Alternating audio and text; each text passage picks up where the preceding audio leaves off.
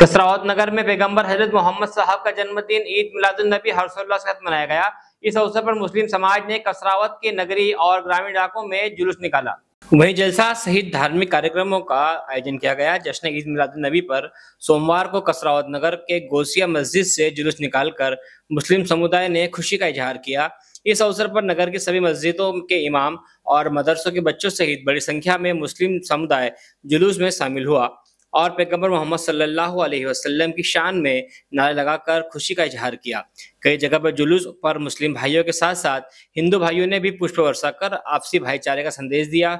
जुलूस नगर के विभिन्न गलियों एवं चौराहों से होती हुई जामा मस्जिद मोहल्ले पहुंचकर जलसे में तब्दील हो गई, जहाँ मदरसे के बच्चे बच्चियों द्वारा देशभक्ति के साथ समाज में दहेज प्रथा जैसी कुरुतियों से दूर रहने के लिए समाज को जागृत किया। कसरावत से अकील खान की रिपोर्ट।